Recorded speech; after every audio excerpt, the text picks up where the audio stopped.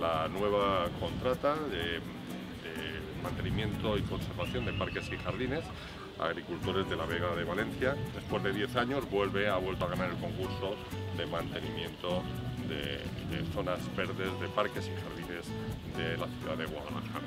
Actúan sobre aproximadamente 2.100.000 metros cuadrados eh, dentro de la ciudad y eh, el presupuesto anual es de 2.504.000 euros las que el Ayuntamiento de Guadalajara destina a esta eh.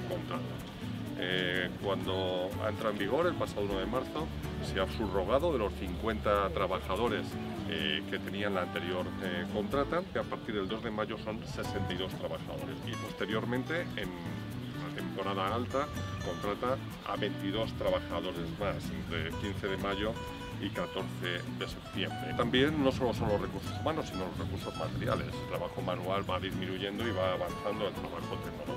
Hoy podemos ver aquí en este parque pues, gran parte de la flota de vehículos que tiene para realizar el trabajo.